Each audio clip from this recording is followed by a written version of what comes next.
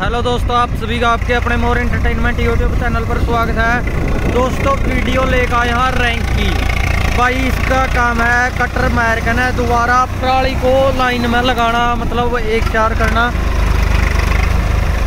तो भाई, इस प्रकार से चला है यो। तो भाई भाई पर सारी जानकारी लेवांगे इसकी। भाई, कितने रुपया का हुआ है यो, कैसे चलाना पड़ा है? तो सारी जानकारी लेवाएँ भाई, आप पहले तो इस वीडियो में देख रहे हो किस प्रकार से चल रहा है यू।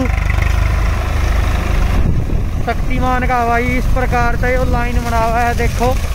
इस प्रकार से ये बैठक सी बना रहा है, उसके बाद गेंट बनाने वाली मशीन चल लगी। उसकी भी वीडियो दिखावाएँ तब ना अच्छे से, आप देख भी रहे हो, वो पीछे चल रही है, न्यू होलैंड ट्रैक्टर पर, और ये आठ पर चल रहा है।